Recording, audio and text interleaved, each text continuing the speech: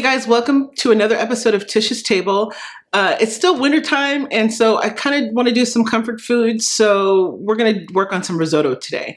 Um, it's still cold here. We're in the dead of winter. I'm in Northern California. Even though we're in California, it's still a little bit cold, so I want to do something nice and rib sticking. So today we're going to work on some risotto. Uh, this is going to be a vegetarian risotto, but you can certainly kind of modify it any way you want. Today we're going to have some asparagus and some tomatoes, but you can add mushroom, you can add scallions, scallops, shrimps. This recipe is totally versatile, so stay tuned and let's see what's cooking. All right, guys, for the risotto, um, it's pretty pretty easy. The only thing that is going to be kind of cumbersome is that you have to stand and actually stir it for about 20 minutes. Uh, but let me run through the ingredients list and we're going to start start the process. So I'm going to add about two tablespoons of butter. I'm going to let that, I've got the heat on, uh, right now I have it on medium high. I'll end up turning it down later. And I'm going to add a little bit of olive oil to this too. And essentially what we're going to do is we're going to toast um, the arborio rice, which I'll show you in a minute. I'm adding some olive oil. That's probably about, maybe about a tablespoon or two of olive oil. And talk about the arborio rice really quick. So this is arborio rice. Um, it's usually what they make um, risotto out of. It's a short grain rice. You can see that's very short grain.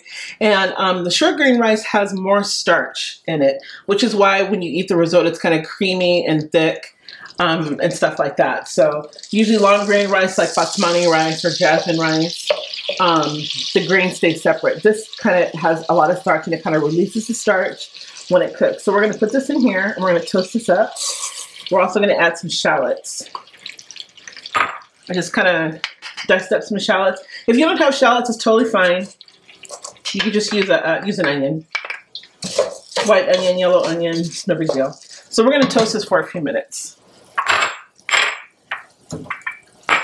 And if you see over here, I've got some liquid. This is going to be a vegetarian risotto, so I've got vegetarian um, broth over here. If you are doing a different type of risotto, say you want like shrimp or chicken or something like that in there, you can use just regular chicken stock. But you want to keep this liquid warm. And you'll see why here in a minute. So we're to stir this for a few minutes. We'll salt and pepper, we'll salt and pepper, excuse me, here in a, in a few minutes. But I just kind of want to get this butter melted and toast it. So right now in the pot, we've got some olive oil, butter, shallots, and arborio rice. And that's about a cup of arborio rice.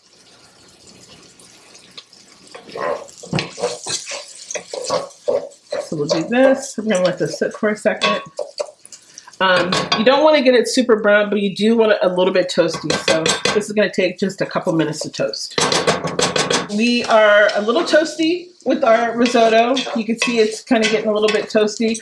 I added a little bit of salt, and the reason why I added a little bit of salt is because we are going to add some Romano cheese. You can you can add Parmesan cheese if you want to, if, if that's what you have on hand. Um, but you can kind of use the salt um, and just kind of be mindful of it because that cheese is a little bit salty. So uh, I didn't add that much, but I am going to add some pepper right now. So just a little bit of pepper. And we're going to add some white wine. Some Pinot Grigio. It's a dry white wine. You can use Chardonnay if you have it, but Pinot Grigio is better. Um, this is about um, it's about a half a cup. You can add more if you want. And you're not gonna, you can definitely feed it to your kids, feed it to people that don't drink alcohol because it's gonna, it's gonna cook out. We're just looking for the flavor of that. So we've got that. Okay, so here's the, here's the thing with the risotto. We've got hot stock here, which you wanna make sure you keep it hot. I've got my ladle here. And basically what you're gonna do is you're gonna scoop and stir. You're gonna scoop and stir. So let's try. So you've got one ladle. We'll do that. And we're gonna stir. And as this, as we do this process, it's gonna get creamier and a little bit more thick. And um, you can add as much stock as you want. This is about four cups. We're gonna see if it's gonna take it all. It, it may, it may not. Um, some people like their risotto a little bit more stiff where you can eat it with a fork. Um, other people like it a little bit more creamy where you having to use a having to use a spoon. So let's go ahead and uh, add some more. So it's already kind of getting creamy if you could see that. We're gonna add some more stock.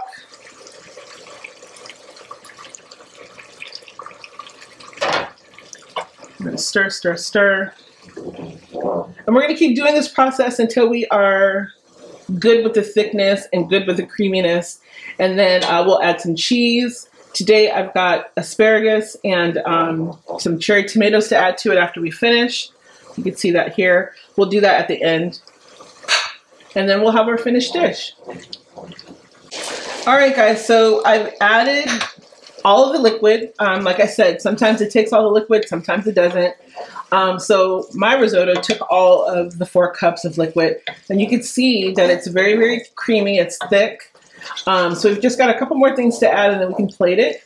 So you can see it's kind of it's very thick. Um, so now I'm going to add I'm going to add that Romano cheese. You can use Parmesan, like I said before. Um, and like I said before, these cheeses are kind of salty. So you just want to kind of be mindful of that when you are adding salt in the beginning. So let's go ahead and add this. I'm going to turn this down a little bit. You can always add more cheese. Like if you feel like that's not enough cheese, um, definitely add more cheese. I'm going to turn the turn it down a little bit. So look, it just thickened up just that quick. All right, I turn the uh, heat down to medium low and we've got some nice thick risotto. I'm gonna add, now this is this is cook's choice. Um, I'm doing a vegetarian one today, so I've got, I roasted some tomatoes or sauteed some tomatoes and some um, asparagus. I just cut them up in bite-sized bite pieces. Um, you can use anything. You can use mushrooms if you want. Um, I've used scallops. You can put peas in there if you want. Um, so we're gonna go ahead and dump this in here. And essentially it's done. I'm going to turn the, the heat off. I'll go ahead and turn the heat off. Stir this in. I am going to add a couple of, when we plate it, I'm going to put some fresh herbs on there, um, just because I like fresh herbs. So this is it. That's the risotto. It's nice, delicious. Um, I can't say it's light because it's not really light, but it is comforting to you. um, so yeah, let's go ahead and plate it and then uh, that's it.